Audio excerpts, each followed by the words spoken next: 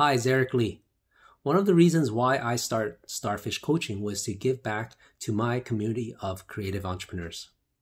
I know right now it's a really tough time for a lot of businesses and a lot of um, creative people. Your businesses may be shut down or you can't work and you really can't see the future for your career or your business. And it's tough. I understand. I get it.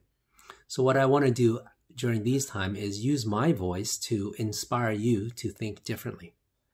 You know, for me, I really believe that mindset is the most important thing and arguably the only thing that matters for success. There's stories all around us.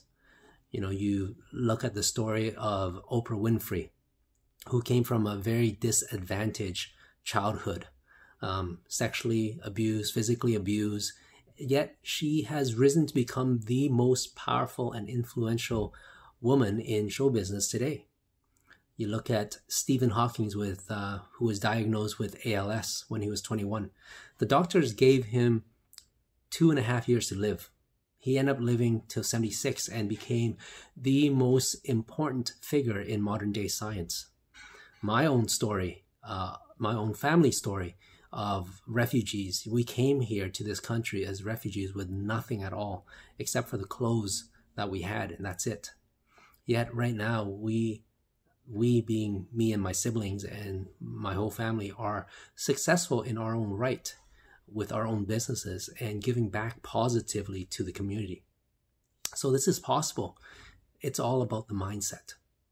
So what I want to do is with every day going forward until this social distancing initiative is lifted, I want to be posting and I want to be sharing with you one positive idea, one good tip for doing something positive with your mindset during this tough time.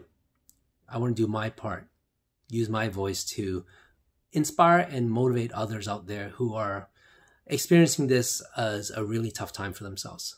So, yeah, stay tuned, stay inspired, and choose optimism. I'll be with you every single day until this ends.